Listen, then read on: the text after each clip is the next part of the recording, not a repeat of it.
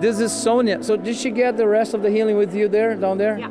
So This is Sonia. She came tonight. She said she came believing for her healing. She had lost uh, 100% of her uh, hearing on the left ear. She couldn't hear at all of the left ear. And then tonight she started uh, getting healed during the words of knowledge. And then she went uh, and she didn't get all the, the hearing back. She got some of it, but then she went to be prayed for. And Danielle here prayed for her, and and she got the rest of her of her healing. Just she was sharing with us that she had been to the doctor, and he said there was nothing medicine could do for her. No hearing aid could help because she had lost the inner ear and she couldn't, couldn't hear at all. And then tonight, Jesus, the doctor of doctors, had a different verdict, and she's totally healed. Thank you, Jesus. Amen. Let me ask Danielle. Yeah.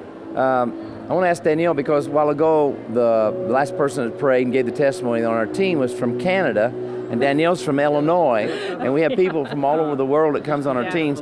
What, what was this like for you? How did how did you go Well, about this? the part that you don't know about is I gave a word of knowledge about somebody losing hearing and the eardrum being damaged.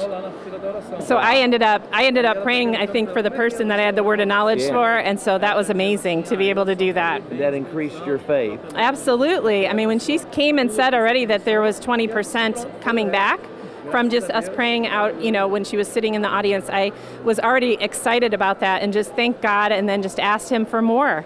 And he she actually went to 50% and then we prayed again and she went to 80% and she had pain in her neck also and that went as well.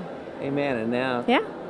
it, it's, We're well, it's at 80%. I don't know if it's increasing, but she we've been continuing and I told her maybe even when she goes to sleep tonight it'll be 100%. But she just got tested on that, so deafness. Yeah. Total deafness. total deafness. Hallelujah. That excites you. It's very exciting. Yeah. Amen. Well, I'll let you get back to the line All for right, some more. sounds good.